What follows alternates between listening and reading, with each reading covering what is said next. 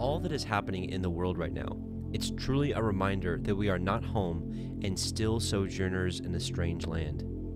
We are ready to leave Egypt and waiting eagerly to live in total freedom in the Most High's ways. Yes, just as it was of old time, the children of Israel lived within the borders of the world financial and military power, so it is the same today. Also knowing our Redeemer and greater Exodus is nigh at hand. Let us prepare for the Father's set apart Passover and feast of unleavened bread.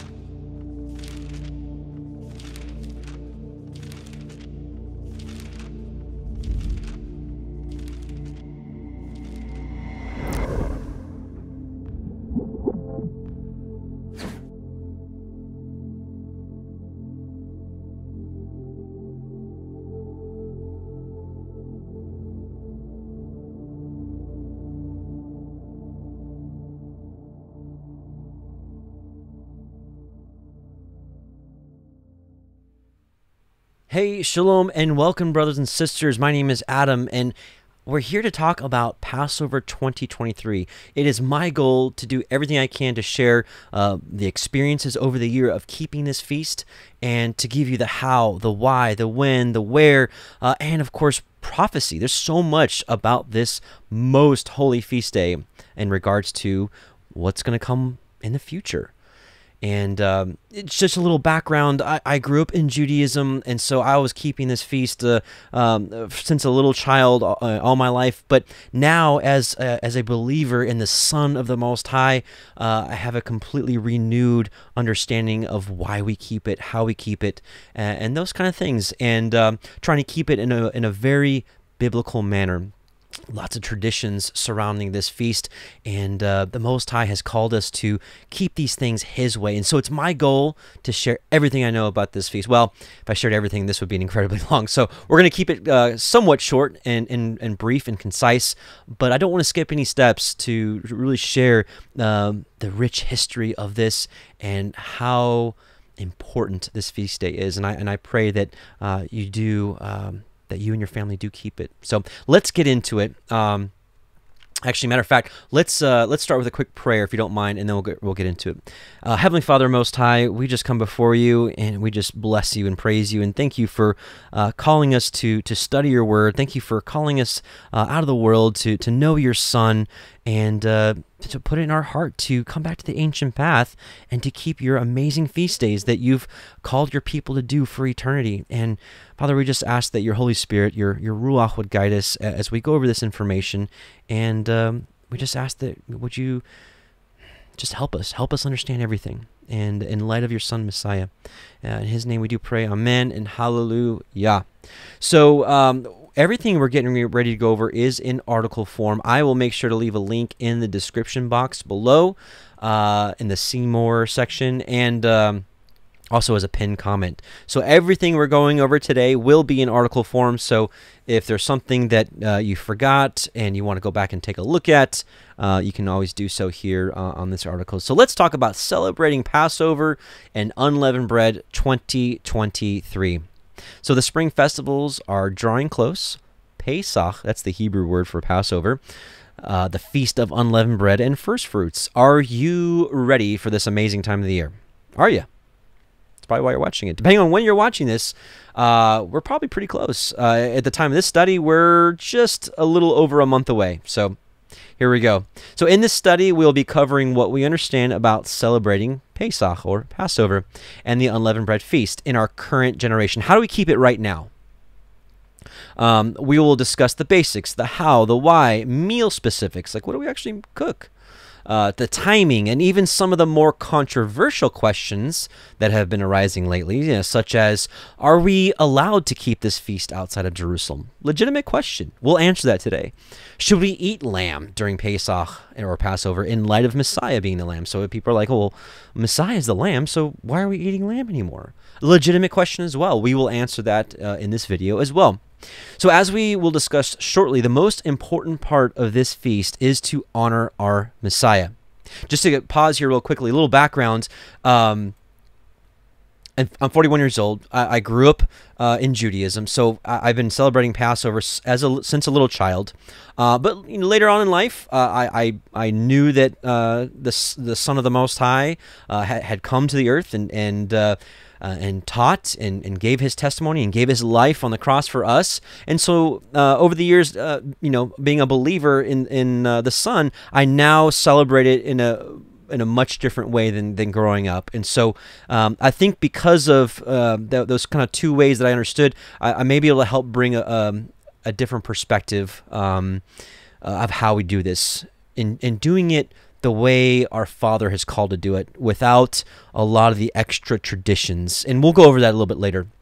So again, the most important thing is is this about this feast is to honor our Messiah, the Son of Yah, who uh, and, and if you're like who's Yah in this study, we'll be we'll be mentioning the Hebrew names of our Heavenly Father uh, and His Son throughout. And so just just uh, be please be patient with me uh, if you're like what are these names? I'll, I'll try to help along the way.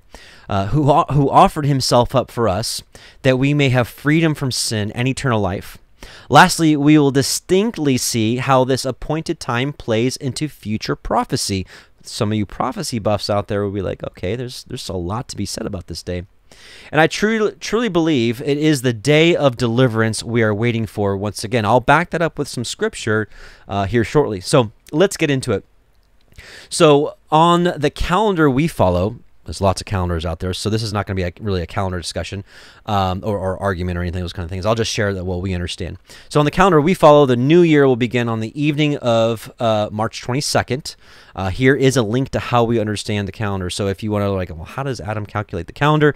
Um, I've got a video for that explaining uh, in as much detail as I can as how I understand the calendar. Uh, for some of you, this may have become routine by now, so uh, some of you have been celebrating this for years. Uh, however, according to many emails, messages, com- and comments, for some, this will be your first time keeping his set apart days. It's amazing. He's waking up people every day. Regardless of where you are in your walk right now, it is my goal that you may glean solid information as to the history, the timing, and prophetic implications for this feast. Most importantly, it is my assignment to help you properly keep this most excellent day, or excellent days, that Yahweh has given us to remember forever. So let's get into the history. Let's start with the account of the Passover in Egypt. We will read from Exodus chapter 12 and 13. At this point in the reading, nine plagues have already come upon the Egyptian Egyptians, and one was soon to come. And just in case you're really, really new and you're like, "Well, I don't even know what that means," so long story short, the uh, the uh, you know Jacob, uh, one of the great patriarchs, went down into Egypt with his sons. Um, they became a great and mighty nation there, and uh, over time. Um, the Egyptians started uh, oppressing them, putting them into slavery, uh, into outright just killing their children, and they were calling upon the Most High, "Deliver us, deliver us, deliver us!" Right? And uh, he finally answered by sending Moses and Aaron to Pharaoh. Hey. Let my people go. And Pharaoh would not listen to them. And so all these plagues were happening. And so when we get ready to read uh, Exodus chapter 12, nine of those 10 plagues have already happened.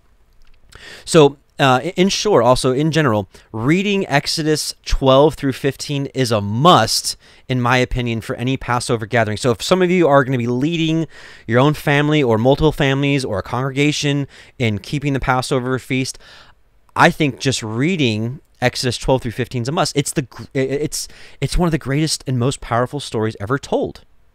This is the finest way, in my opinion, that we can honor him without the leaven of man-made traditions.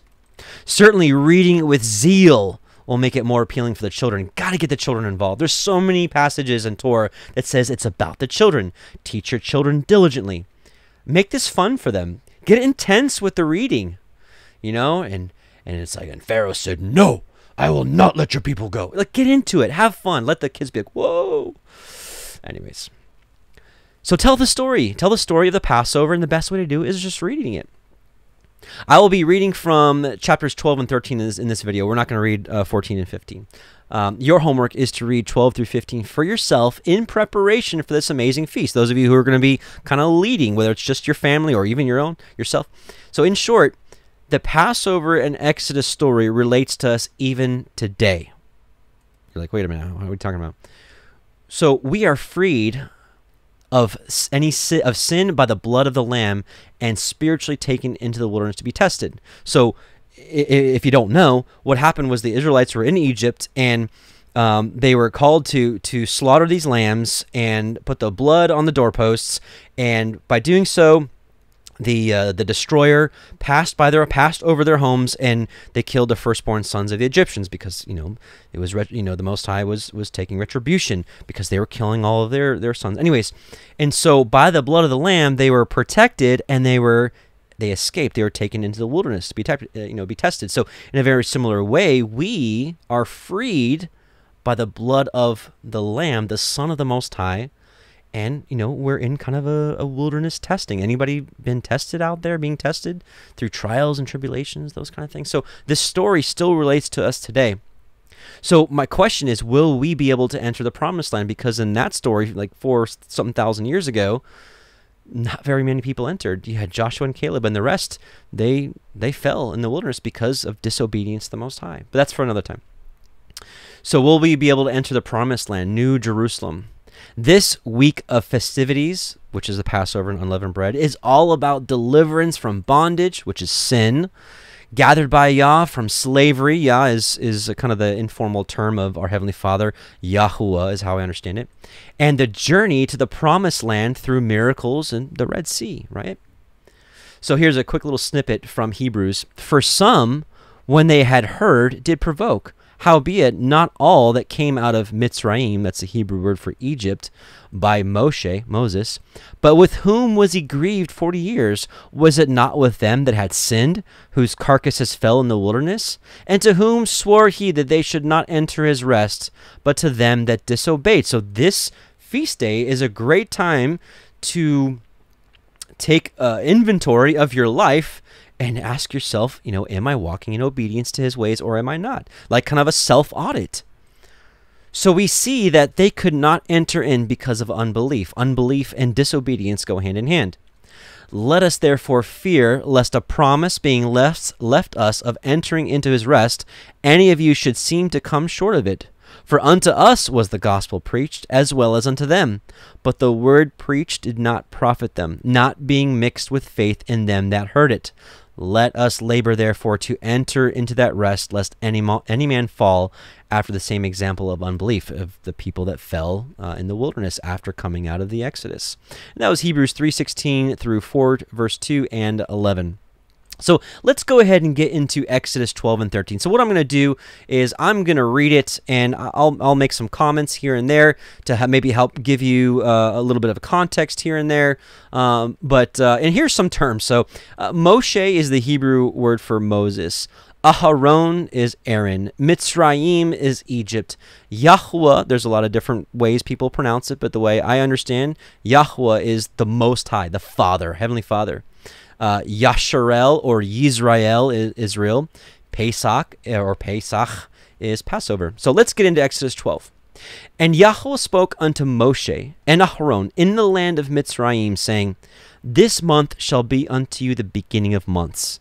It shall be the first month of the year unto you. So stop real quick. So I know a lot of people are still, you know, used to being, well, January 1st was the new year. Why are you why did you say earlier that March 22nd, the evening of March 22nd, why is that the new year? The Hebrew New Year starts in the spring calendar specifics if you have more questions as again, again i shared that link earlier with you um, but so the most high is saying here this is going to be the beginning this is the springtime right now that's going to be the beginning of the year so speak you unto the assembly of Yasharel, Israel, saying, In the tenth day of this month they take to them every man a lamb, according to the house of their fathers, a lamb for a house. And if the household be too little for the lamb, let him and his neighbor next unto him his house take it according to the number of the souls. Every man according to his eating shall make your count for the lamb. Your lamb shall be without blemish, a male of the first year. Ye shall take it out from the sheep or from the goats. And ye shall keep it unto the fourteenth day of the same month. Eh, the whole multitude of the assembly of Yashrael shall kill it in the evening or afternoon in preparation for, to eat it in the evening. Because if you're supposed to eat the Passover meal at evening at the end of the day on the 14th, and you're killing it at evening. If anybody has ever processed uh, an animal before, you need some time. And they shall take of the blood and strike it on the two side posts and on the upper door posts of the houses wherein they shall eat it. And they shall eat the flesh in that night, roast with fire, and matzah, that's unleavened bread, and with bitter herbs they shall eat it. So we'll talk more about it. This is kind of the meal right here, but we'll talk about it more in a little bit. So eat not of it raw, nor sodden it all with water. When you see sodden with water, it's more like um, uh, like a, a stew or a or a pot roast. So we can't do that, but roast it with fire, cook it with fire, his head with his legs, and with the purtenance thereof. We'll talk more about that in a little bit. And ye shall let nothing of it remain until the morning, and that which remains of it until the morning ye shall burn with fire. And thus shall you eat it with your loins girded, and your shoes on your feet, and your staff in your hand, and ye shall eat it in haste. It is Yahweh's Pesach, his Passover. For I will pass through the land of Mitzrayim this night, and I will smite all the firstborn in the land of Mitzrayim, both man and beast, against all the Elohai. These are the gods. These are the lower lowercase g gods of Mitzrayim, like all the, the idols and the statues and all those kind of things. I will execute judgment. I am Yahweh. And the blood shall be to you for a mark upon the houses where you are.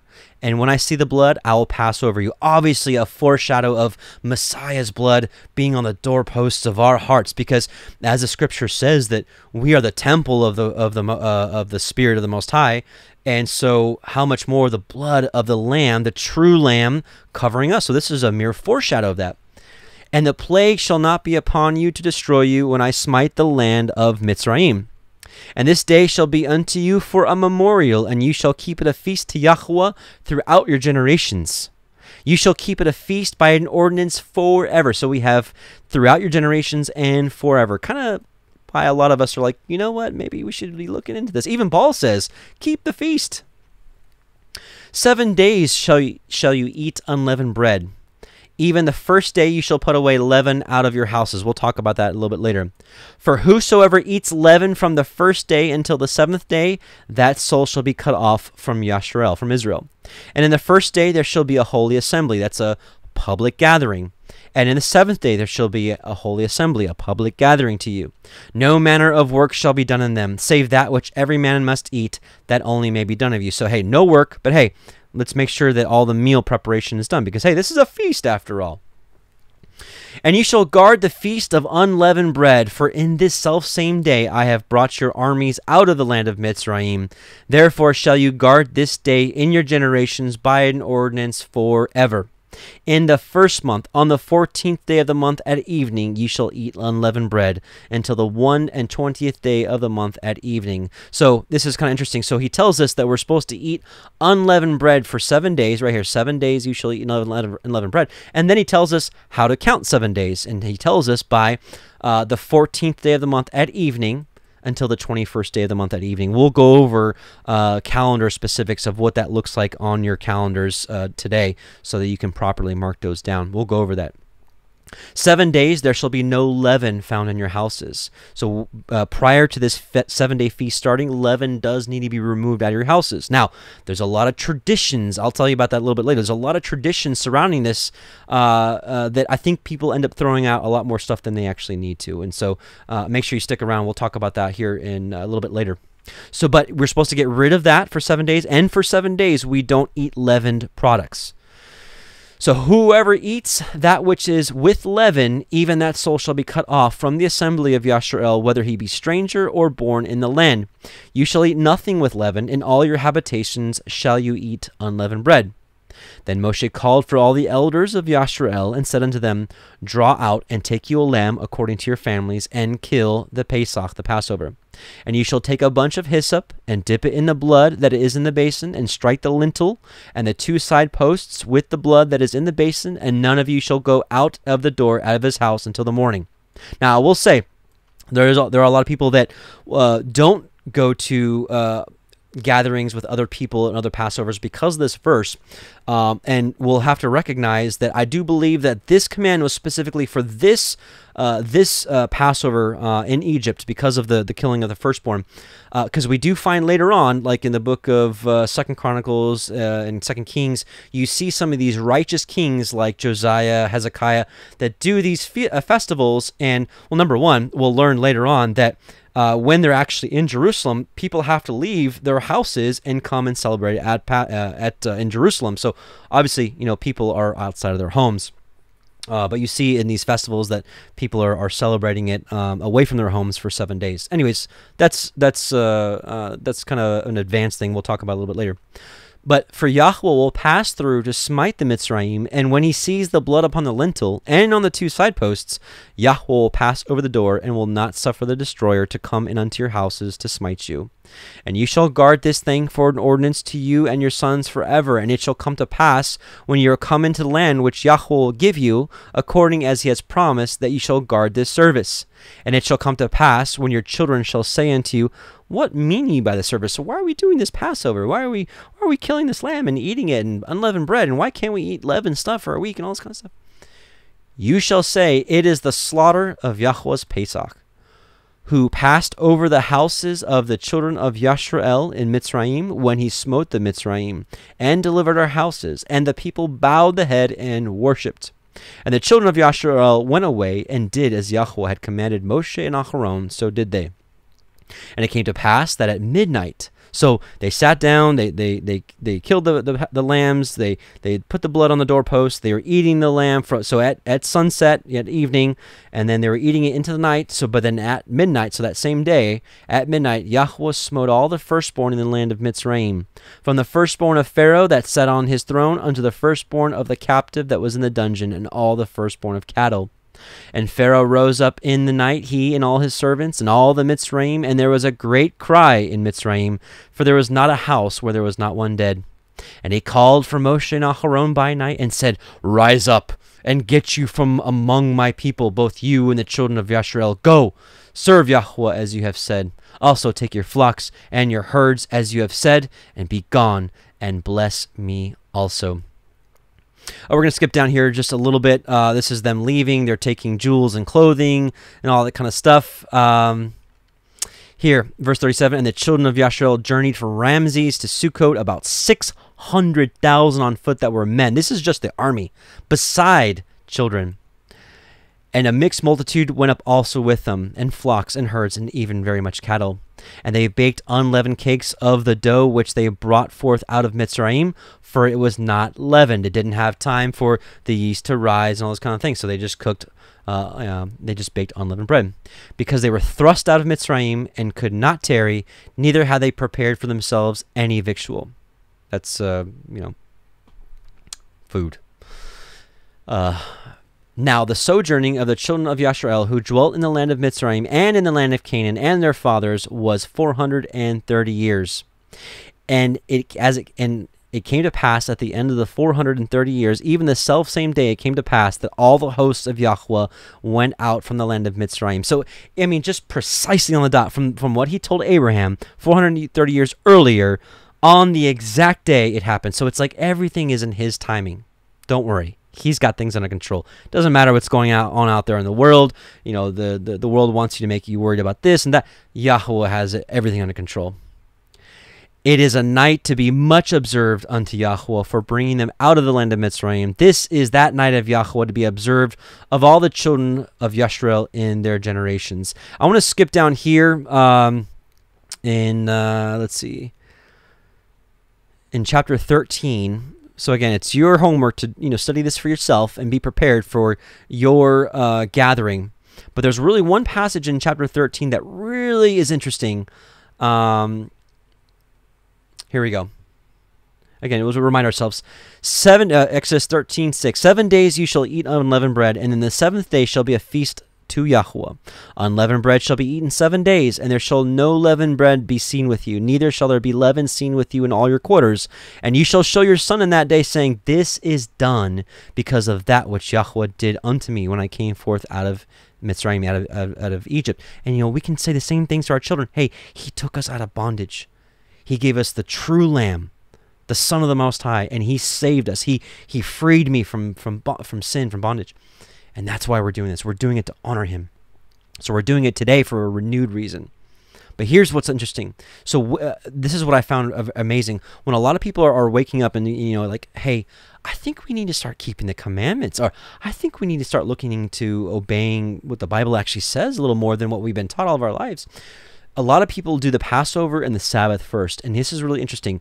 When you do the Passover, this is this is the it's like it's like action and reward. So when you move forward in faith and you do this feast day, there is a reward. Listen to this and it shall be for a sign unto you upon your hand and for a memorial between your eyes, your hand and your forehead. Does that ring a bell for anything in the book of Revelation? Because I'll tell you, the beast has his mark and the Most High has his mark. When you keep this, he marks you. And also, here's the reward that Yahweh's Torah may be in your mouth. So it's like you do this, and he's like, I'm going to mark you and I'm going to put my Torah in your mouth so that we may actually do it. For with a strong hand Yahweh has brought you forth out of Mitzrayim. You shall therefore guard this ordinance in his appointed time from year to year.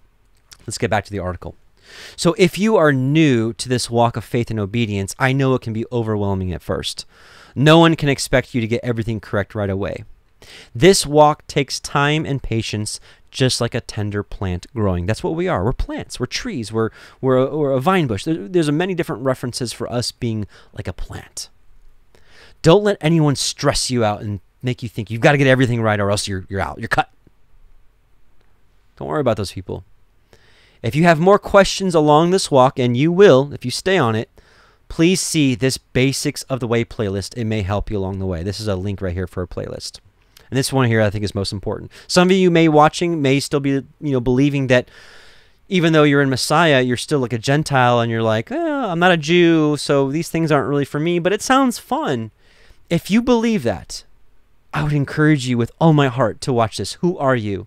Because I believe your identity in Messiah has been hidden from you. So, why do we still celebrate today? And these are his, his feast days Passover, unleavened bread, first fruits, Pentecost, trumpets, Day of Atonement, tabernacles. If you're reading this or watching this video, perhaps you already understand that we are not called to celebrate the holidays of the world Christmas, Easter, Halloween, oh whatever, whatever, all those others. If you're not, if you don't understand that, if you're like, well, what's wrong with Christmas? Isn't that like a Christian holiday? Again, I would just highly encourage you to watch this video as well. There's a link for you. This is a, a link. So these holidays have been mixed with pagan practices, just as it was thousands of years ago. This is what Yahweh said about worshiping Him that way and just worshiping him in the ways that man have created in general that's not what he wants and that's why i was saying earlier I, I was very I was I was very thankful to I was there very thankful to uh, grow up in Judaism and now understand it from a different perspective because I was able to see, you know, how all these different traditions were added and aren't really in the Bible. I'm like, well, where's that? It's not in here. Where's that? And so, anyways, this is what the, the Most High says about celebrating Him in different ways. Take heed to yourself that you be not snared by following them. After that they be destroyed from before you, and that you inquire not after their Elohim, saying, How did these nations serve their Elohim? So how do they serve their gods? Even so will I do likewise. You shall not do so unto Yahweh. So we can't celebrate him or, or worship him in a way that the, the world teaches. For every abomination to Yahweh, again, that's our Heavenly Father, which he hates, have they done unto their Elohim, their gods. That's Deuteronomy 12, 30 through 31. So here is the everlasting command. This is again the why are we celebrating today. Here's the everlasting command to keep these festivals. And this day shall be unto you for a memorial. You know what it is to have to hold a memorial. And you shall keep it a feast to Yahweh throughout your generations. You shall keep it a feast by an ordinance forever. How long's forever? Are we still in forever? I'd say so. Nevertheless, some have said that we cannot do Passover today due to this other command. So you have a command that says, do it forever, and then you have this command. You may not kill the Pesach, the Passover, within any of your gates, which Yahweh, your Elohim, gives you. But at the place which Yahweh your Elohim shall choose to place his name in. There shall you kill the Passover at even, at the going down of the sun, at the season that you came forth out of Egypt. And, and to me, the going down of the sun is after noon, because we know in the morning the sun rises. Well, those of us that understand uh, biblical cosmology, you know, may understand that how the sun actually goes. But, but according to our perception, the sun rises and the sun sets. So as it passes afternoon, the sun starts to, the sun starts to set. Sorry. Anyways, so it's basically saying here in, in, in so many words, you can't do this anywhere other than Jerusalem. This is the place where Yahweh Elohim shall choose to place his name, and that's Jerusalem. So considering we aren't in the promised land anymore and most of us aren't journeying to Jerusalem to keep these feasts, what are we to do, do today? We have one command that tells us to keep it forever, and then another that says we can only do it in Jerusalem. Here, I offer my opinion, well, and scripture. The command in Deuteronomy 16, this one right here that says only do it in Jerusalem, the, the command in Deuteronomy 16 was given to the people that were about to inherit the promised land. The inheritance that they gained, but then lost and forfeited due to disobedience. We are now in dispersion back in Egypt, quote unquote, spiritually. I would humbly suggest that the command to do Passover throughout your generations supersedes the other. Consider that almost immediately after the command was given to keep it only in Jerusalem, Joshua and all the Israelites kept it in Gilgal, which is near Jericho, not in Jerusalem. So think, think about it. In, t- in chronology, or chronological order, excuse me, uh, Moses gave the command, and then, what is it, like maybe 30, 45 days later, Joshua and the Israelites, they cross over the Jordan and they keep the Passover in Gilgal, Gilgal in, in Jericho, not in Jerusalem. So, right here, and the children of Israel encamped in Gilgal and kept the Pesach on the 14th day of the month at even in the plains of Jericho. Joshua 5:10. This is right after Moses gave the command. So did Joshua decide to completely ignore the command Moses just gave in Deuteronomy 16 or did he realize that the command was given for when they were in the land? Let us also keep in mind that the real reason Yahweh would want them to come to Jerusalem every year was because that's where he dwelt, like his presence in the temple. His presence was to be located in that temple. However, we know through the prophets that th- that things would eventually change. Howbeit the Most High dwells not in temples made with hands, which he previously did, but this is prophesying moving forward. So again, howbeit the Most High dwells not in temples with hands, says the prophet. Heaven is my throne, and the earth is my footstool. What house will you build me, says Yahweh? Or what is the place of my rest? Has not my hand made all these things? This is Acts, uh, Acts 7, 48 through 50. This is Stephen quoting Isaiah 66. Also, for where two or three are gathered together in my name, there I am in the midst of them. So where we gather, that's where he is.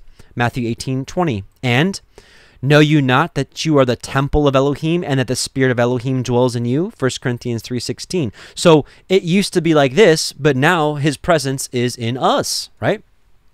So brothers and sisters, the Ruach HaKodesh, that's the Holy Spirit, dwells in us. His name has been placed upon us. He is with us we are no longer looking to be reunited in physical Jerusalem, but New Jerusalem, which is to be revealed with Messiah Yahusha. Another topic we can discuss. Uh, I do have some links for that as well I can share with you. It is my conclusion that we should be observing Passover like the Israelites did in captivity when they were in, in Egypt, waiting for deliverance as we are today. That's where we're waiting for him to come gather his people, aren't we? Very much like they were in Egypt back then. Here's an interesting uh, interaction with Messiah and the woman at the well. And she says, Our fathers worshipped in this mountain. That's Mount Gerizim in Samaria. And you say that in Jerusalem is the place where men ought to worship, like we saw in Deuteronomy 16. You need to do these feasts in Jerusalem. Yahusha, that's how I understand the Messiah's name. Some people say Yeshua. Uh, this is how I understand it. Yahusha said unto her, Woman, believe me, the hour comes when ye shall neither in this mountain nor yet at Jerusalem worship the Father. Did you catch that? You don't know what you worship. We know what we worship, for salvation is of the Jews. But the hour comes, and now is, when the true worshippers shall worship the Father in spirit and truth. For the Father seeks such to worship him. Elohim is a spirit, and they that worship him must worship him in spirit and in truth.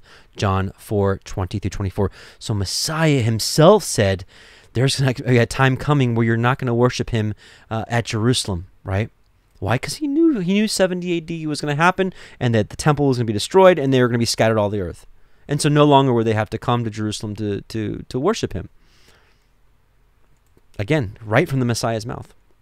So that's why I believe that we can celebrate it today wherever we are, because his presence dwells with us, his people, wherever we are. So, how do we celebrate it today? Like, how do we do this? Good question. Before we get into the details, I must say we have to be very cautious about traditions. The majority of set apart believers today have left modern day Christianity, which we know is littered with man made teachings that you can't find in the scriptures. What has been extremely unfortunate is that some have left false modern day Christian Christian traditions and sprinted all the way over to the other extreme into Judaism. Growing up in this religion myself, I can tell you that Judaism is riddled with even more man made teachings. These are the very things that Yahusha, our Messiah, rebuked in his day. Consider even more traditions have been added over the past 2,000 years. If you haven't read the Gospels lately, read them again. You'll notice that almost half of his ministry is well, that's maybe an exaggeration. A good portion of his ministry was rebuking the religious leaders of the day because they were more concerned about these man-made traditions, the kind of the oral Torah, what which kind of what was what morphed into the Talmud, that superseded the commandments of the Most High. And we'll talk about those some of those here in a sec, just a second.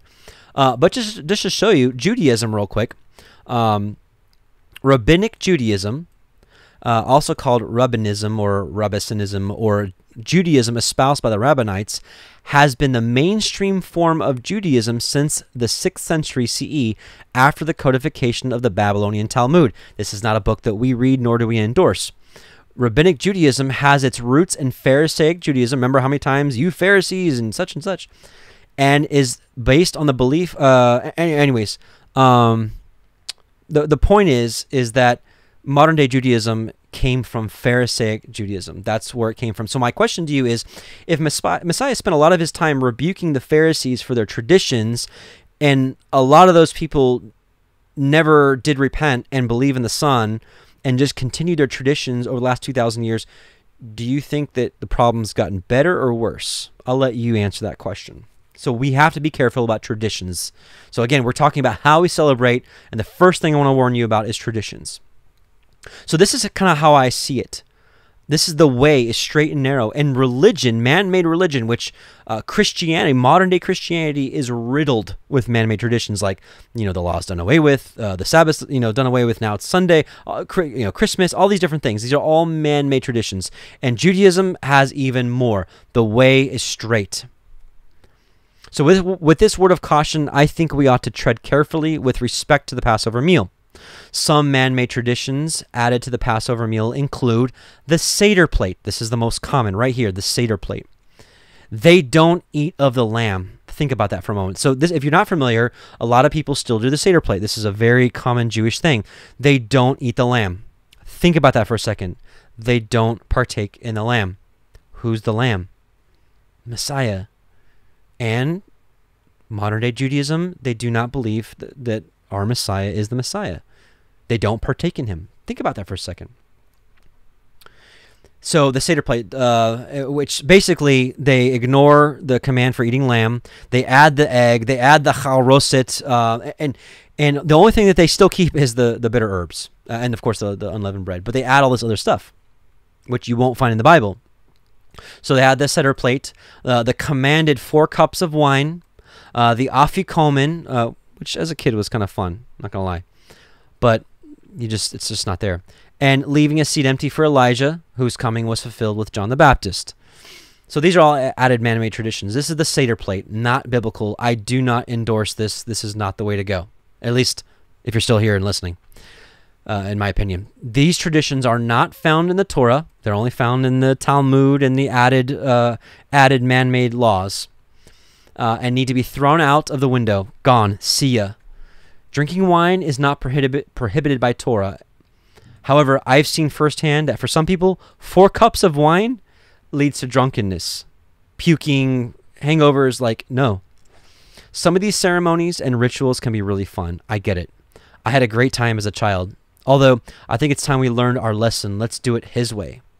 After all, it's all about Him, not about us. It's not what, what's what's most fun for us or what we like. It's about how He wants it done.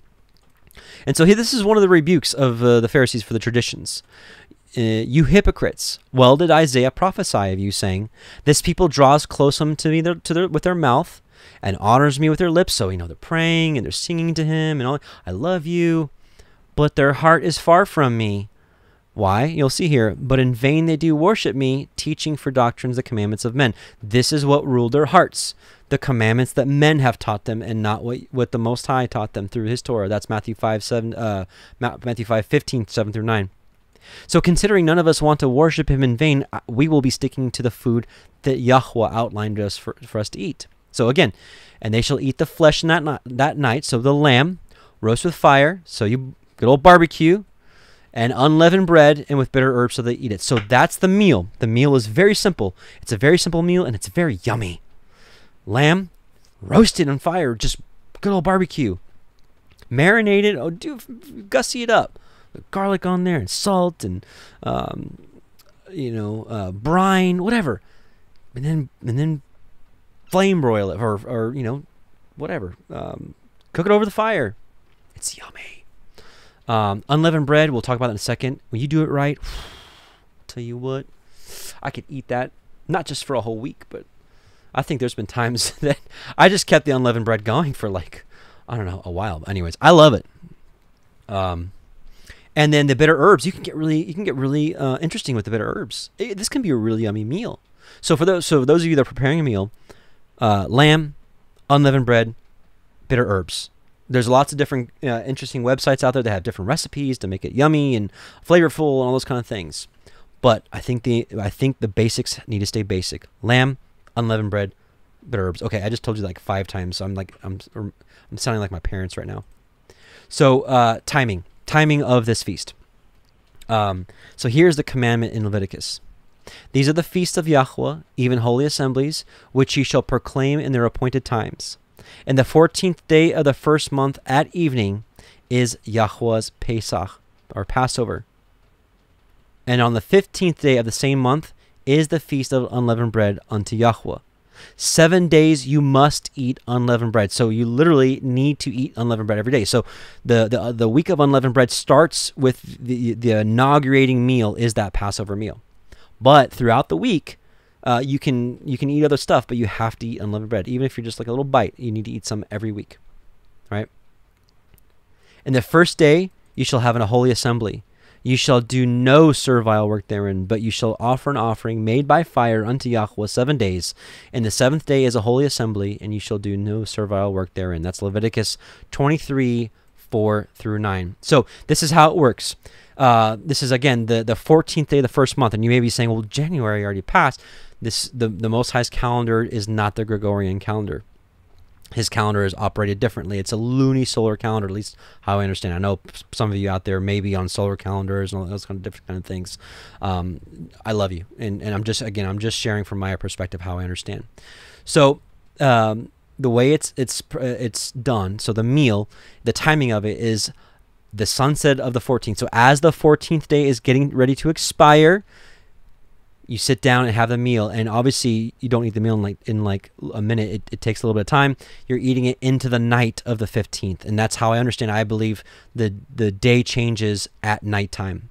When the sun goes down and uh, the twilight's upon as the night takes over i believe that's the day. I believe that days are evening to evening. I know there's a lot of uh, disagreements out there uh, i'm not saying that to be contentious. I'm just trying to help people that that um, understand how I how I understand.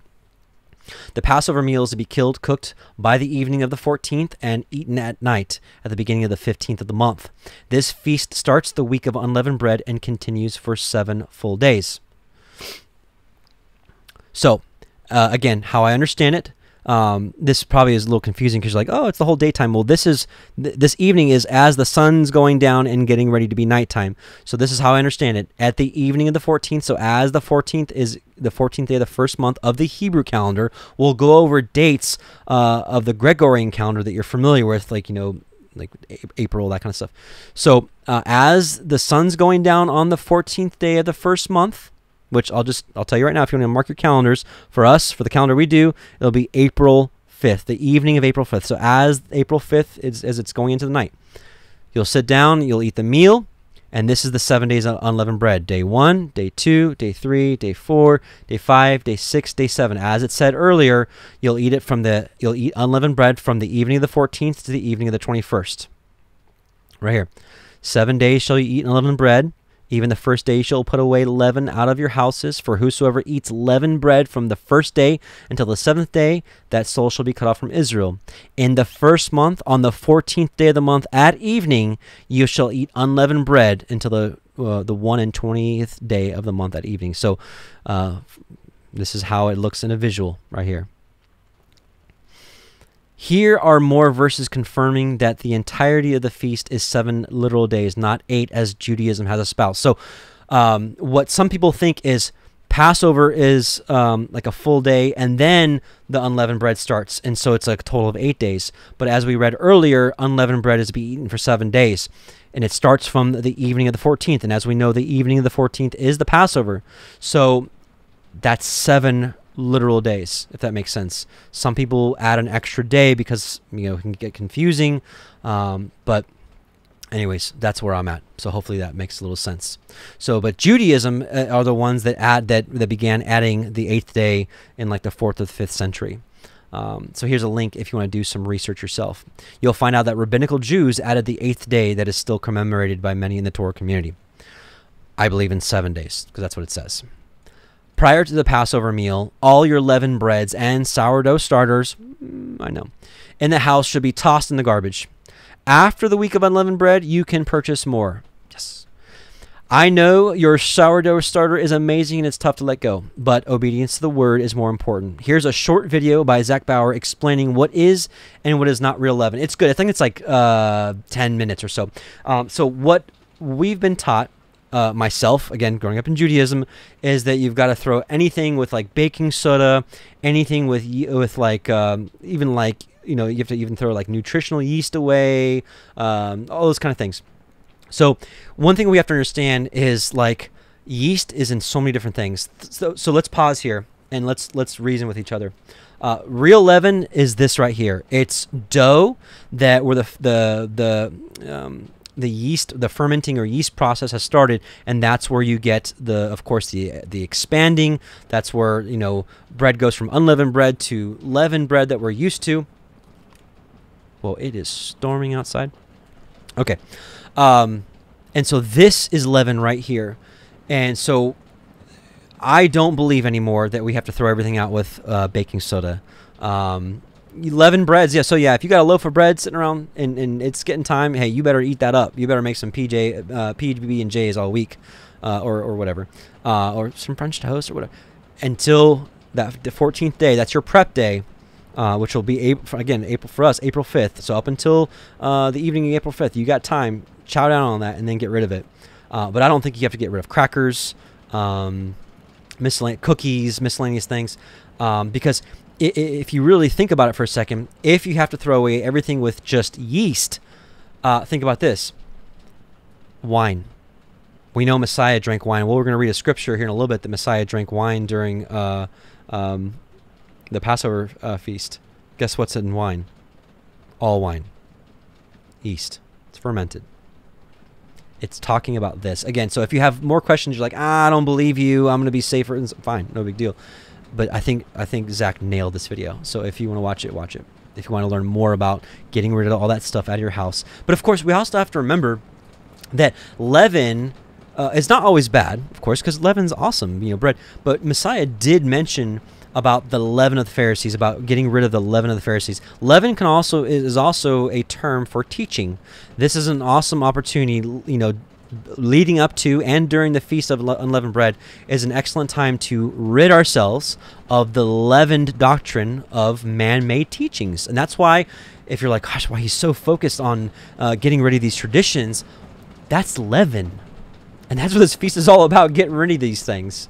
So hopefully that makes sense. Um, and I'm not just being too repetitive. So let's keep going. So the calendar. Let's face it, we all want to be celebrating this most set apart feast on the right day. Yet there is a multitude of calendars out there. And, and it's, I think it's so surprising to me because I've met so many awesome people that I love, and some of my best friends uh, are on different calendars. And we've all prayed, and we've all fasted, and we've all sought Him with all of our heart that we just want to keep your right calendar, teach it to us. And we all come up with different answers. And we're like, what? How does that happen? Who's right? So who has it right? Well, we all think we do, or at least we hope to at least. Here is the real test, and this is just a thought, maybe why the Most High allows us to have different conclusions. Do we have love and patience with each other as we all grow? Do we? Or we're like, I've got the one and true calendar and you don't? You will have to suffer the consequences. That's not that extreme, but some people get really, really charged up about it and really think that they've got the one and only calendar and everyone else is wrong.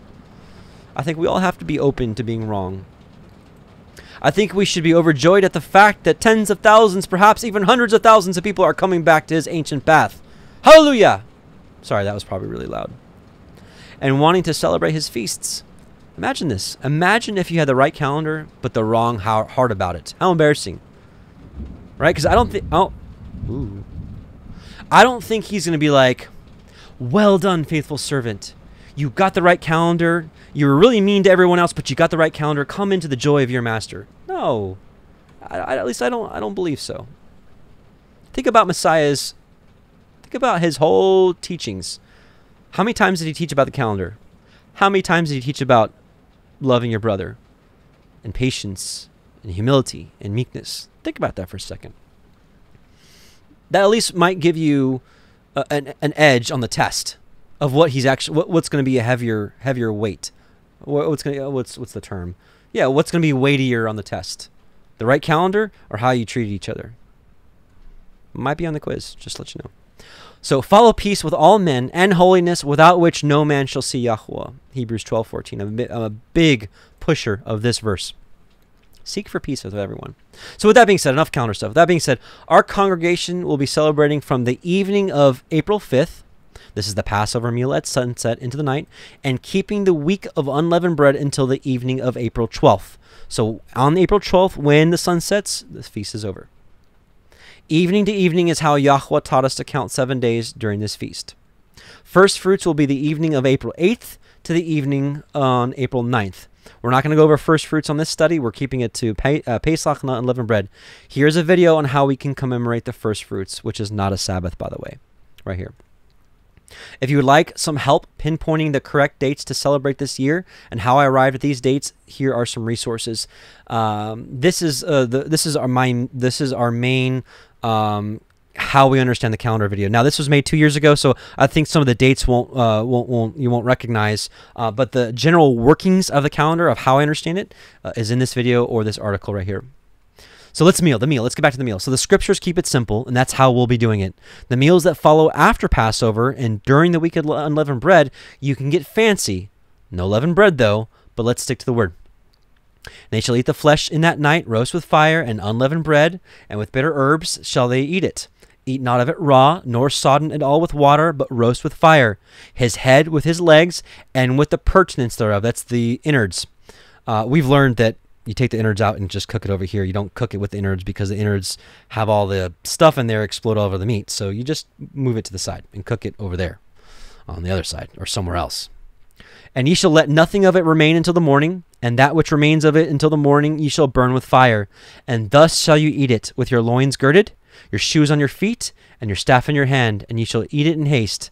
It is Yahweh's Pesach, as Passover, Exodus 12, 8 through 11. So lamb, unleavened bread, bitter herbs, that's it. I know some of you out there are vegetarian and or vegan. I get it, totally. I was vegetarian for years. I actually liked it. I'm not anymore, but I enjoyed those couple years. I just felt called for a couple years to, to do it, and I thought it was a great time. But I'm now a uh, meter eater now. Consider that this is a command in the Torah to eat the eat the lamb. Could you stomach one or two bites to honor him? One might say, and some people get out of it and they say this. One might say, Messiah Yahusha is the Passover lamb and fulfilled this requirement, and so they don't eat it. And I've, I've had you know multiple people uh, come at me and, and say that I'm wrong for encouraging to eat the lamb because I'm literally just reading what the text says. It says eat it, and people are like, don't eat it. I'm like, okay.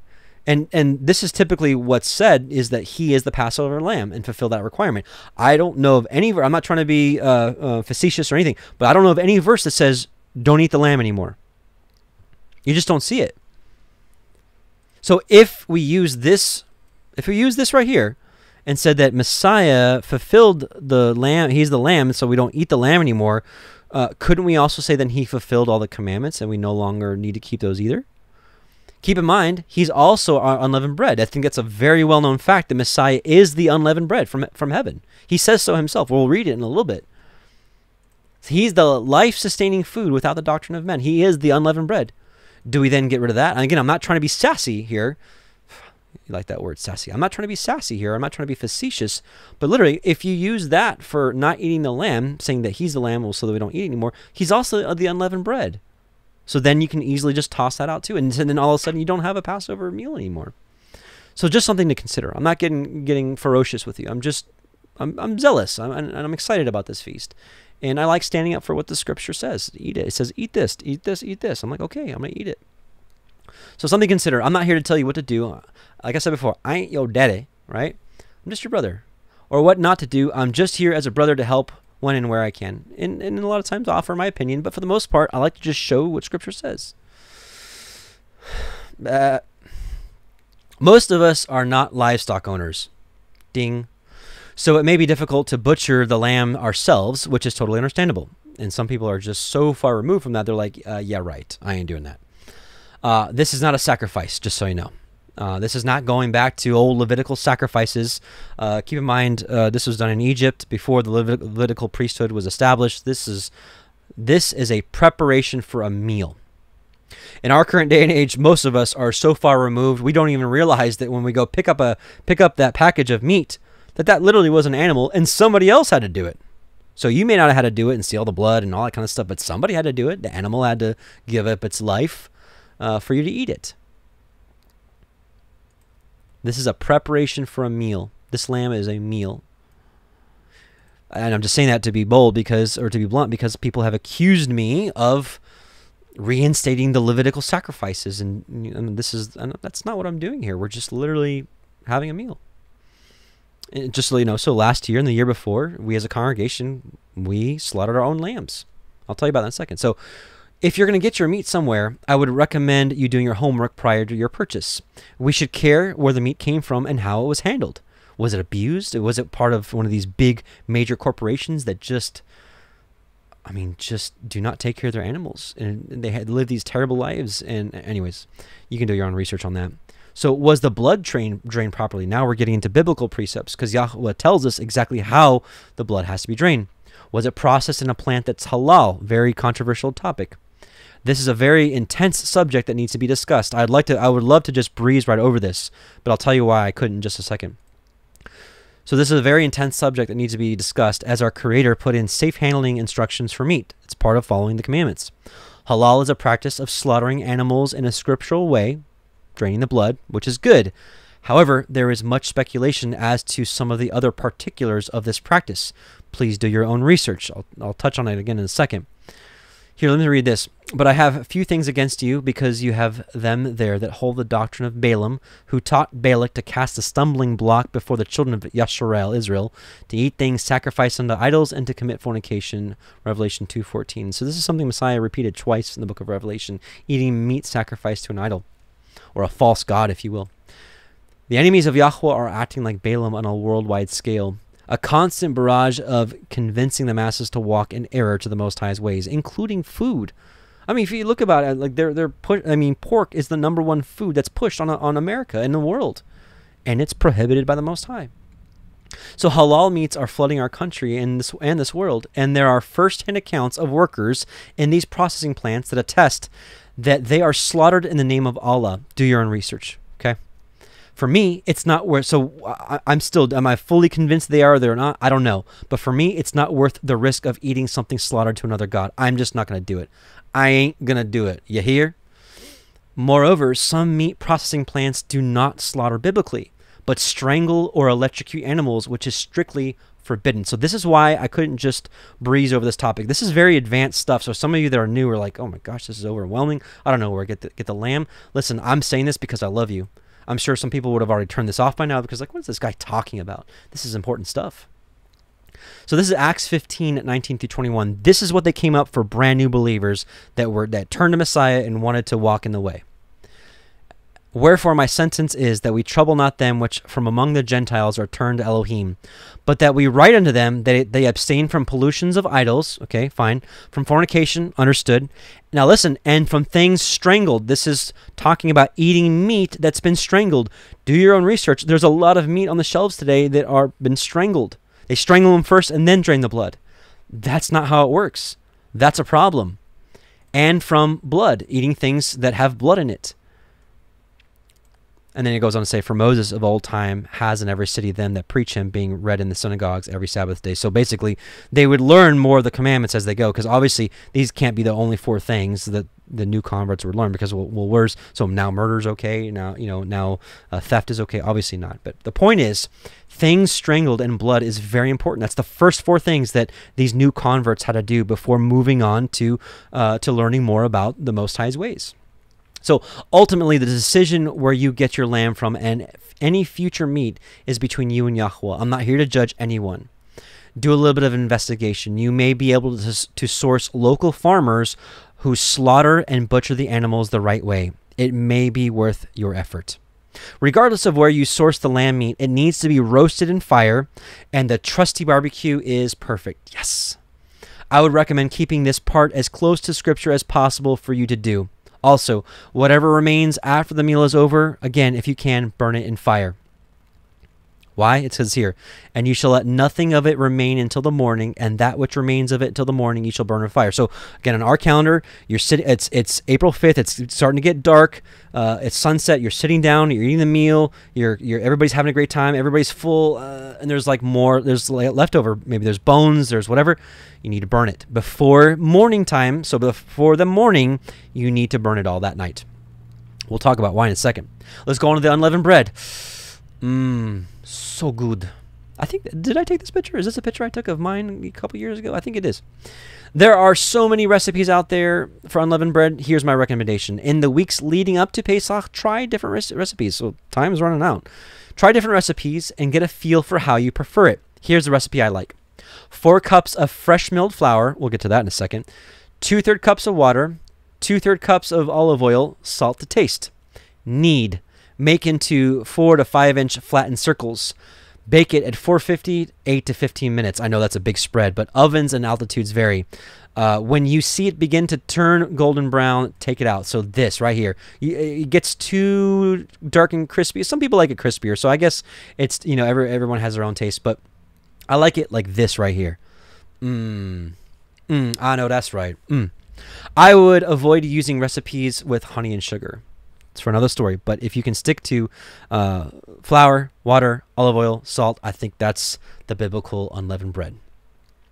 You can also buy pre-made matzah crackers. You've seen them in the store, or even some healthier options of tortillas, especially the ones that you can cook yourself. However, keep uh, look look at the labels. Some of the most popular ones you see in like Walmart uh, are it says uh, made with genetically mo modified, genetically engineered ingredients. Uh, I think Costco has some good ones. Uh, whatever. Honestly, I found the homemade unleavened bread quite delicious and worth the effort. It's worth your effort, honestly. If you're a pizza lover, making flatbread flatbread pizzas throughout the week with unleavened bread is quite tasty. But remember, not the Pesach meal. Stick to the flatbread pizza after. If you'll be making your own unleavened bread, I'd love the opportunity to change your life with this video introduced to me by Nathan and Chelsea Reynolds, The Bread of Life by Sue Becker. Milling your own grain is the way to go. I'll never go back to store bought flour. If you watch the video, You'll know why. Bitter herbs. Yes, I love dandelions. There has been some discussions as of late that the bitter herbs are an insertion and that this word actually means that the feast was to be observed in bitterness. Along this, some have said that the whole week of unleavened bread you are to eat unleavened bread only, as in no other foods whatsoever. Here is my study and conclusion on the matter in love. I do not agree with these claims. I think it's a week of joy, which, uh, again, the book of Chronicles says that they celebrated this week with just joy and singing and dancing. We'll, we'll read it here in a second. But here's a whole nother study uh, because this is uh, this has been going around last couple years that during the week of unleavened bread, people think that the only thing you can eat is unleavened bread. Uh, the scriptures uh, actually sh- completely shows that that's untrue. I have a I have a feeling that King Josiah and King Hezekiah knew a lot more about the scriptures than we do right now, and they were eating all kinds of things during that week of the unleavened bread. Of course, after the Passover meal. So, and the children of Yashrael, Israel, that were present at Jerusalem, kept the feast of unleavened bread seven days with great gladness. They were happy and joyful. And the Levites and the priests praised Yahweh day by day, singing with loud instruments unto Yahweh. Second Chronicles 30, 21. So back on track. Bitter herbs can come in many forms. Lettuce, parsley, dandelion leaves, and many others. A few years ago, I enjoyed making a salad from a combination of dandelions and parsley.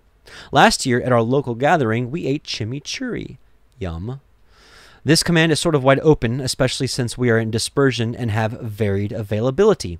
Depending on where we are in the world, gathering free and healthy options that Yahweh provides, because this is the beginning of summer and these are beginning of spring, and these free plants keep just pop up. So, uh, depending on where we are in the world, we have different availability depending on where we are in the world. Gathering free and healthy options that Yahweh provides for us around the, our homes is always fun for the whole family. Trust me, the kids love it. Always check to make sure what you are gathering is safe and healthy. They have apps on your phone where you can take a picture of something if you're unsure, and it'll tell you exactly what it is.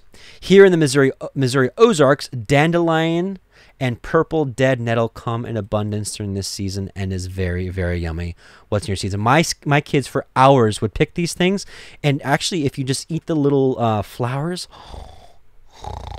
oh oh, it's exquisite, so good.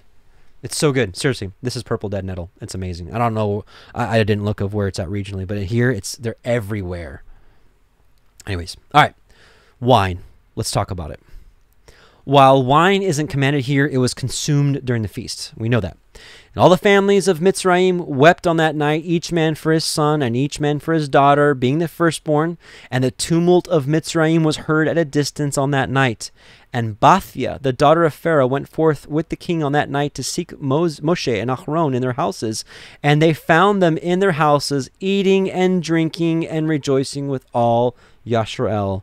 That's the book of Yashar or Jasher, 80 48 to 49 if you're like what's the book of Jai- what's the book of Jasher honey it was mentioned in uh, Joshua 10 13 and 2 Samuel 118 are these things not written in the book of Jasher also this is Messiah. He took the cup and gave thanks and gave it to them, saying, Drink ye all of it, for this is my blood of the new covenant, which is shed for the for many for the remission of sins. But I say unto you, I will not drink henceforth of this fruit of the vine until that day when I drink it anew with you in my Father's kingdom. Matthew 26, 27 through 29. So Messiah didn't hate or reject wine. Consider his first miracle was turning water into wine. Remember, the grape harvest was almost six months prior. The grape harvest is at the end of summer, early fall. The only way to preserve grape juice at that time was fermentation, which created wine with alcohol. Fermentation, uh, or, or, or, the stopping the fermentation process and preserving it as grape juice, didn't start until the Welches uh, uh, invented it or whatever, came across it in was it the 17th or 18th century. So the only way to preserve grape juice at that time was fermentation, which created wine with alcohol. You don't have to drink alcohol, but I would recommend having some juice. Uh, maybe grape juice, right? If you abstain from alcohol. Nothing wrong with that. Tart cherry juice is a good option for you Nazarites out there. Eat in haste or anticipation. Like, look at them. They're, they're, staves, they're staves. Look, they're eating and they're ready to go.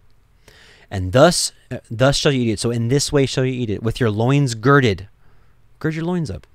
Your shoes on your feet and your staff in your hand, and you shall eat it in haste. It is Yahweh's Pesach, his Passover. Exodus 12:11. I think it's a good time to discuss the prophetic implications of Pesach.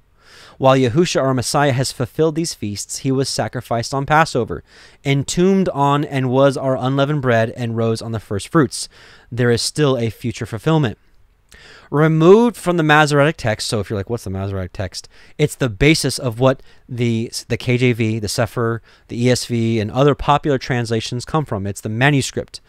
But left intact in the Greek Septuagint text, which is another manuscript, which is roughly 1100 years older than the Masoretic, there is a prophecy about another regathering, the big one that we're all waiting for. Some call it the second Exodus. Some call it the harpazo. Some call it the the big the big, big regathering, y'all. The Septuagint only gives us the timing of this prophecy. This passage is found in Jeremiah 38 8, which is the equivalent of Jeremiah 31 8. If that's confusing, the Septuagint just has their chapters uh, in different order. So Jeremiah 38 8 is Jeremiah 31 8. So here's the matter, Masoretic first. Behold, I will bring them from the north country and gather them from the coast of the earth, and with them the blind, the lame, the woman with child, and her that travails with child together. A great company shall return here. Jeremiah 31 8, Masoretic. Now, let's read that in the Septuagint. Behold, I bring them from the north, and will gather them from the ends of the earth to the feast of Passover. Whoa, stop the record here. Stop everything. That big regathering, he's going to regather us to the Feast of Passover. That's some information that I really enjoy. And the people shall beget a great multitude, and they shall return here. Jeremiah 38 8 Septuagint. So every year for the rest of my existence, I will be hoping this will be the Pesach we've been waiting for. With this in mind, I'll be ready to go. Loins girded, bags packed. Below is a fun fact. This is how to gird up your loins. So just in case, you know, you got a tunic on, uh, and this is how you begin the girding of the loins process. You pull it pull it up a little bit. You you know kind of underneath bring it through, uh, or no, you bring it up, then you bring it through over here. Then you bring the two sides, you tie it, and you're ready to go. So that day will be greater and more widely discussed than the Passover and the Exodus of ancient times. Therefore, behold, the days come, says Yahweh, that they shall no more say, Yahweh lives, which brought up the children of Yashrael out of the land of Egypt. But Yahweh lives, which brought up and which led the seed of the house of Yashrael out of the north country, and from all the countries where I have driven them, and they shall dwell in their own land. Jeremiah 23, 7 through 8. So basically, what he's saying here is people aren't going to talk about the first Exodus anymore. Uh uh-uh. uh. they are going to be talking about the big one that's coming. That's the one they're going to be talking about forever. So come, Messiah Yahusha, gather your people, please. Please. So celebration specifics, again, here's the calendar. Um, in the link or in the description box below, there'll be a link to our calendar if you want to download the free PDF. Uh, again, so this is the Gregorian calendar. So if this is how you understand how when you go to work and all that stuff. So this is the Gregorian calendar. This is not the Father's calendar, but we're putting the dates for this for this feast on the Gregorian calendar. We're not keeping it according to the Gregorian calendar, but this is how you can understand it. So on April 5th, right? So at nighttime, this is when it starts. So you should be preparing all this day, you know, and on the 5th at evening, when it starts turning into nighttime, that's when the Passover starts. And it goes until the evening on the 12th. And that's when it, that's when it ends. So at nighttime on the 12th, it's over. The week of unleavened bread has two Sabbaths, the first and the seventh days. The evening of the 5th of April on the calendar I follow until the evening of the 6th is a Shabbat. So from here, from the evening of the 5th to the evening of the 6th, this is a Sabbath, no work. Don't go to work. Likewise, the evening of the 11th to the evening of the 12th is a Sabbath. This is, if you remember earlier, this is the seventh day. So the evening of the 11th, so on the 11th of April, as it's coming to sundown, it's a Sabbath. From, from here to here, from the 11th of evening to the 12th of evening is a Sabbath. If you're on a different calendar, be sure to check for these days. No work is to be done except food preparation. And it is also a holy convocation, a public gathering for worship. I know not all of you can gather in person, but perhaps look for an online gathering as a secondary option. We will be attempting to live stream our uh, our public and local gathering.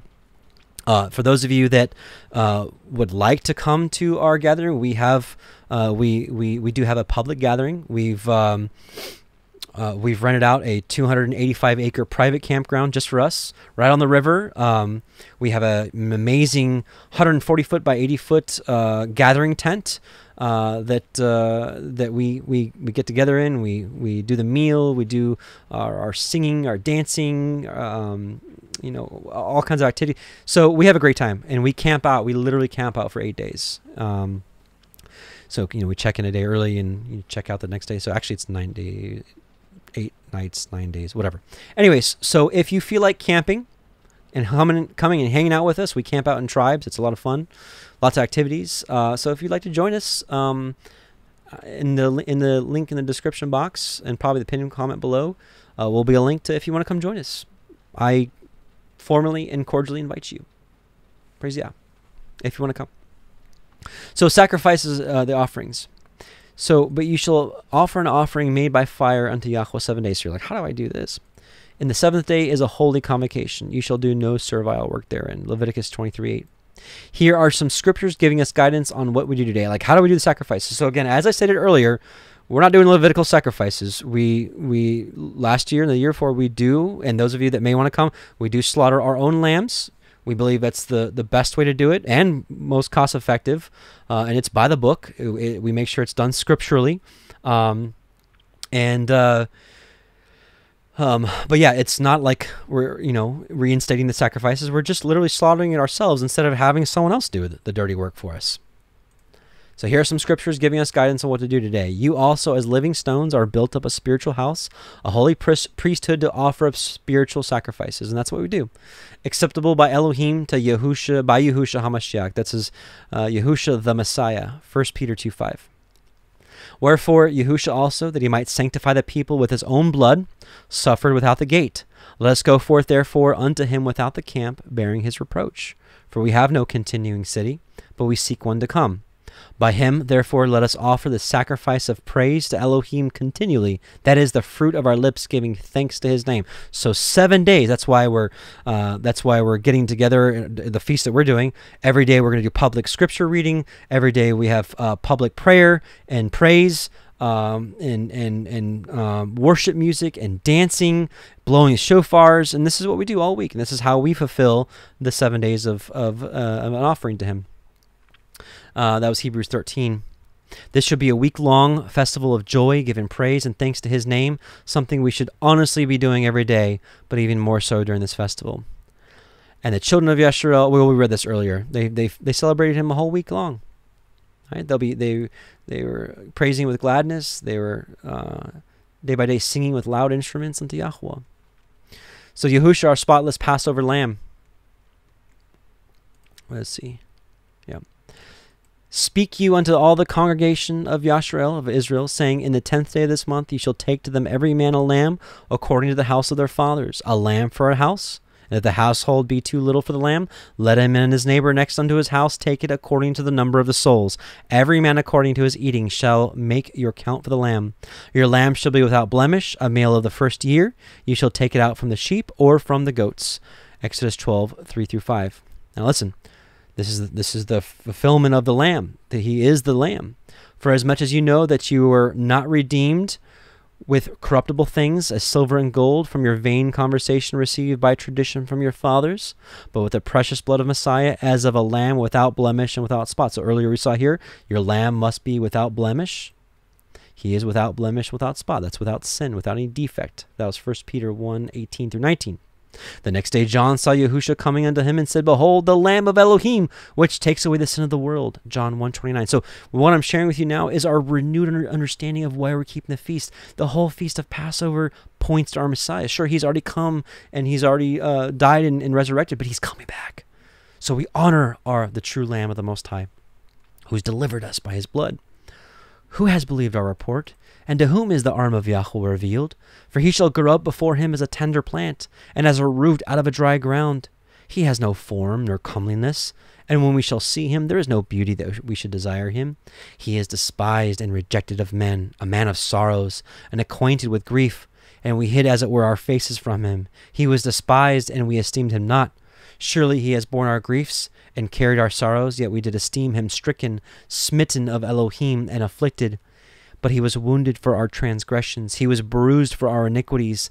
The chastisement of our peace was upon him, and with his stripes we are healed. All we like sheep have gone astray. We have turned everyone into his own way, and Yahweh has laid on him the iniquity of us all. He was oppressed, he was afflicted, yet he opened not his mouth.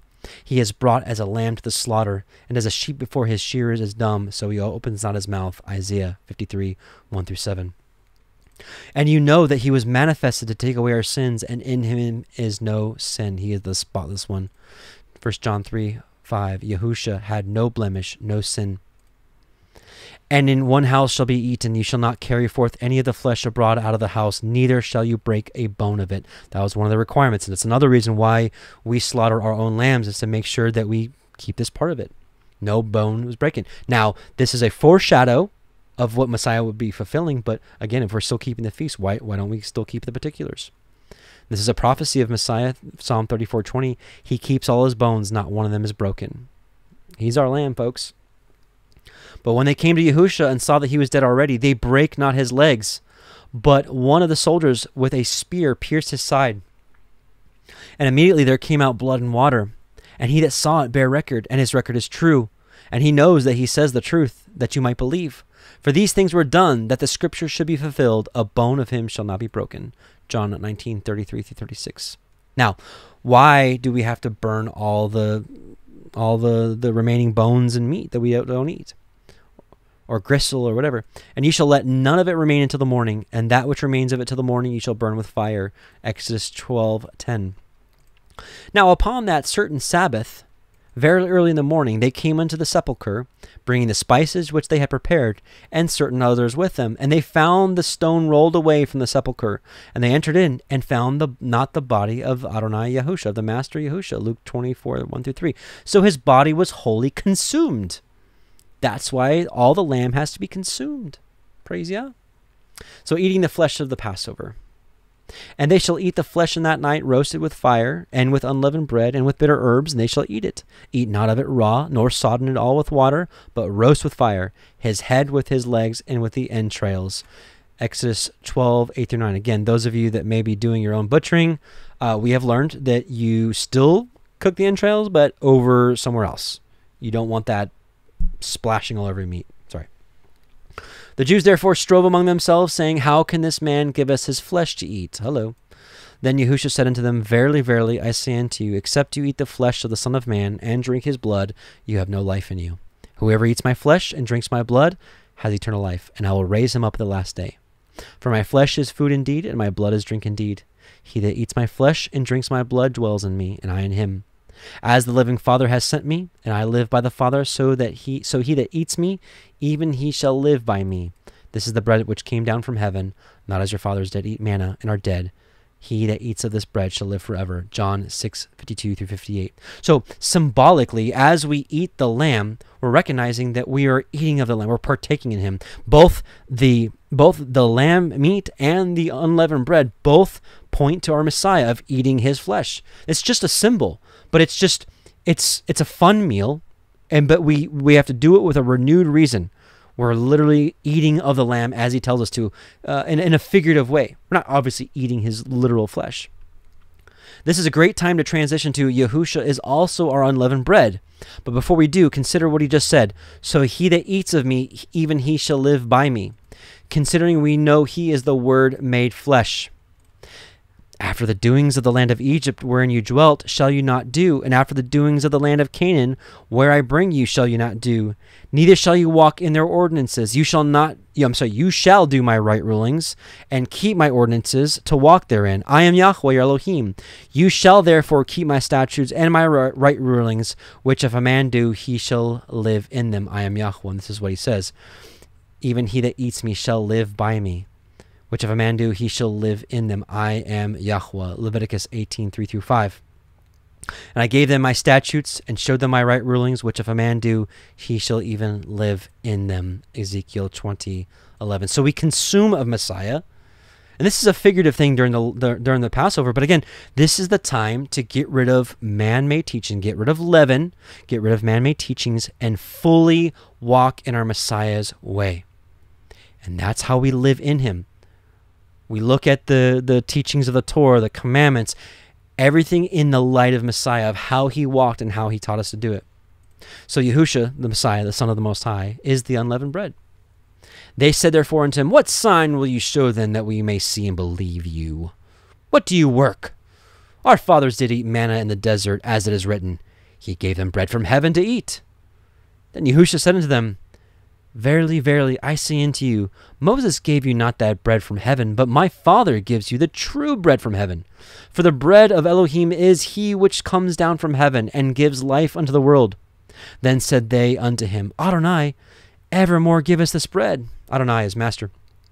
And Yahusha said unto them, I am the bread of life. He that comes to me shall never hunger, and he that believes on me shall never thirst.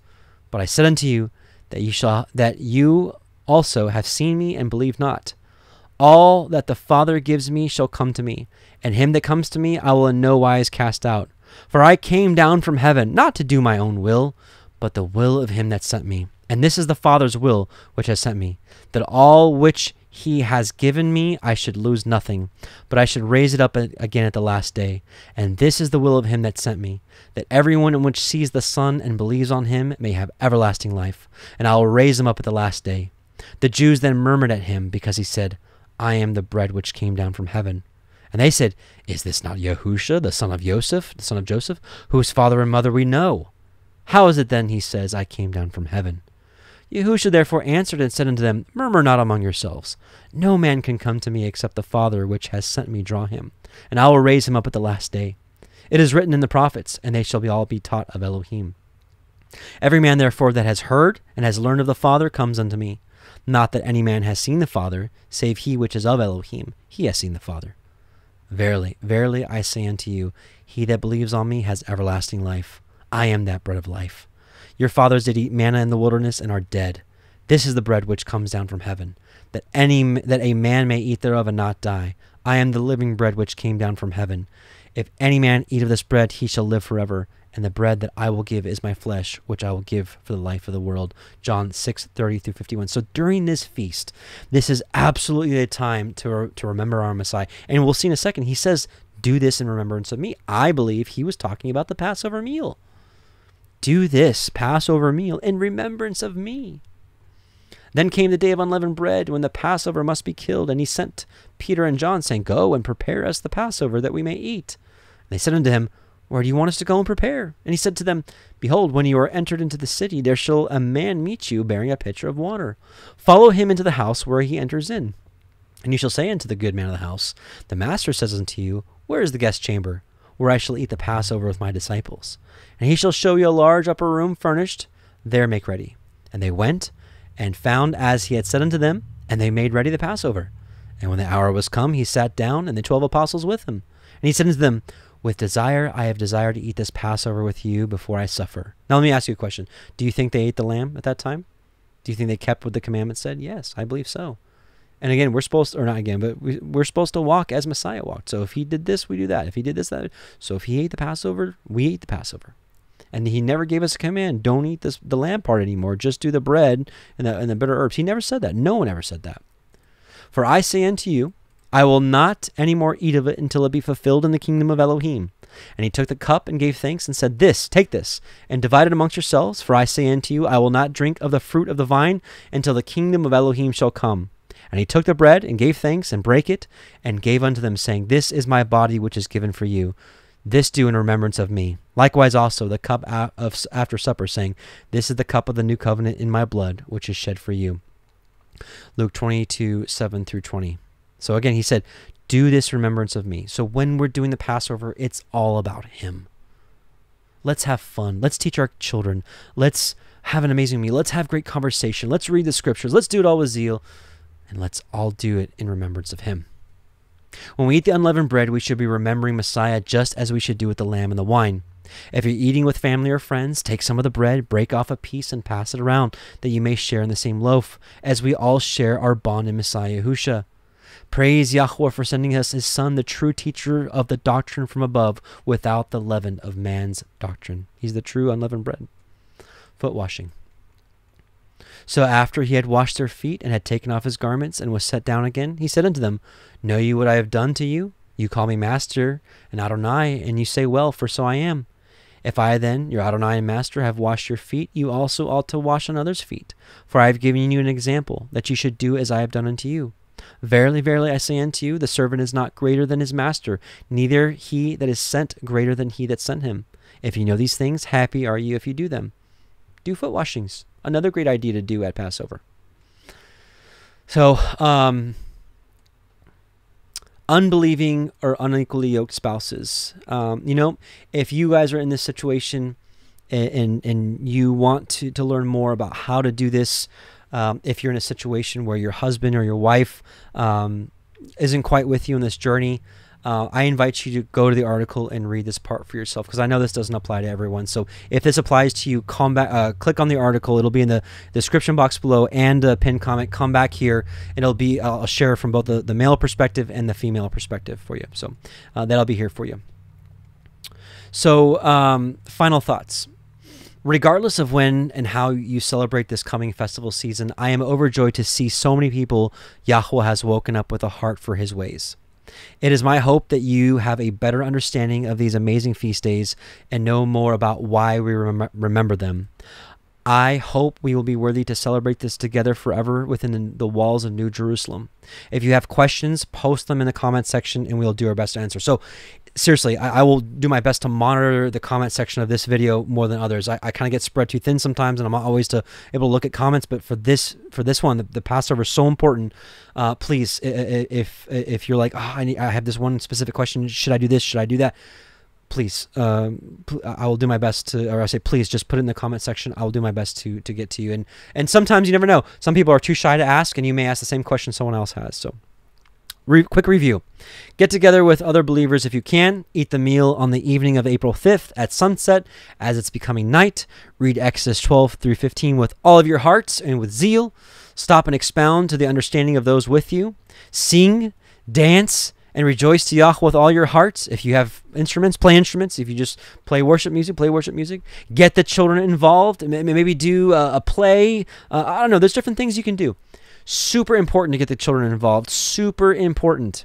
Give all praise to him through his son and the spotless lamb, Yahusha. This meal is all about him. Be ready because this can be the day that he comes for us. And again, don't forget, burn the lamb before morning time if you have anything left over.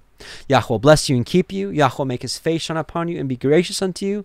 Yahweh lift up his countenance upon you and give you shalom. Numbers 6, 24 through 26. So uh, we're going to do, uh, just uh, again, reminder, if you'd like to join us in Lebanon, Missouri, southwest Missouri, uh, for the feast days, our camping days are going to be April 4th because it's a check-in day before, so you can come in and set up your tent or um, your RV or whatever, a camper. There's plenty of rooms for campers and RVs. Um, um, uh, all the RV spots are taken. However, you can boondock, you can bring a generator or whatever. Um, but uh, the campground's got showers and bathrooms and a well and a river right there. We're going to be doing baptisms, whatever. So it's going to be in Lebanon, Missouri. So if you want to join us, uh, we uh, formally and cordially invite you to, to join us. I'll have the link in the description box and the pinned comment below. Uh, and we're going to be playing now the Song of Moses. Uh, so those of you that are going to be coming, hey, listen to the song, get to know it, because we're going to be singing it a lot. It's a lot of fun to sing together as a congregation. So let's do the Song of Moshe. Um, this was performed by Brother Alan Horvath, and uh, I pray it's a blessing for you. Shalom.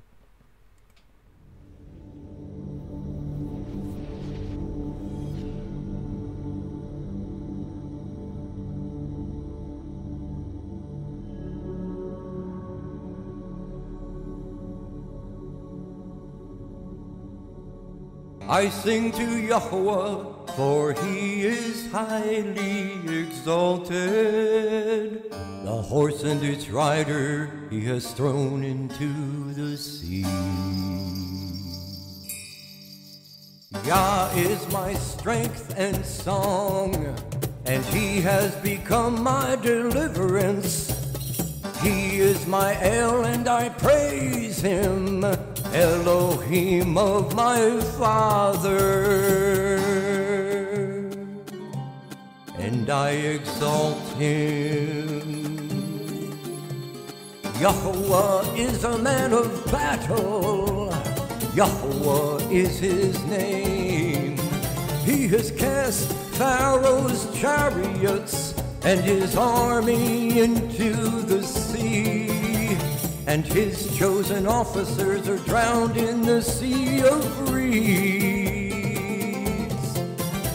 The depths covered them. They went down to the bottom like a stone.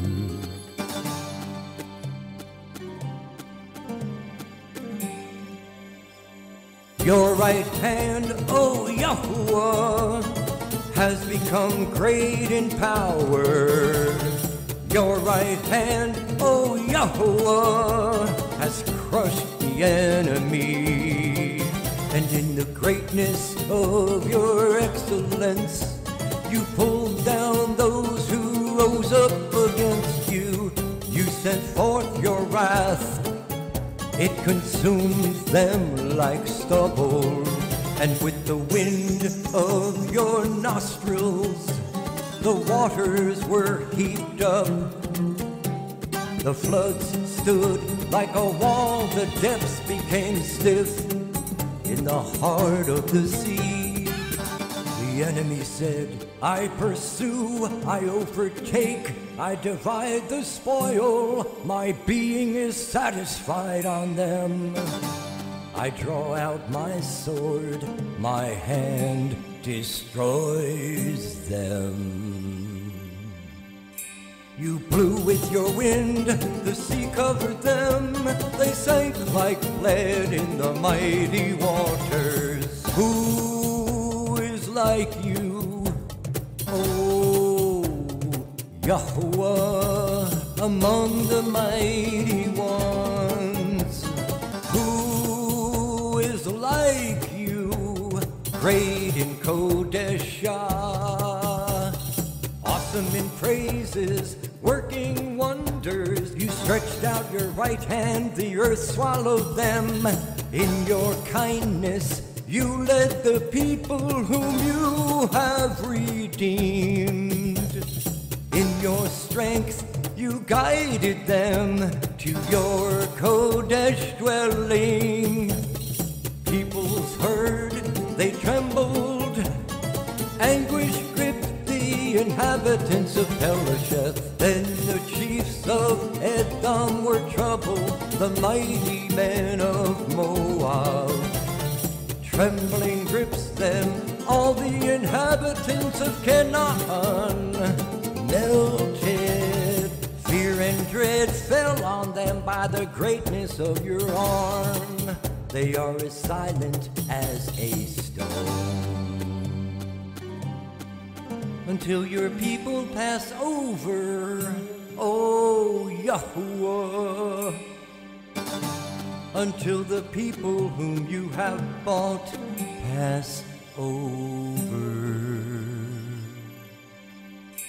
You bring them in and plant them in the mountain of your inheritance, in the place, O Yahuwah, which you have made for your own dwelling, the Mikdash, O Yahuwah which your hands have prepared.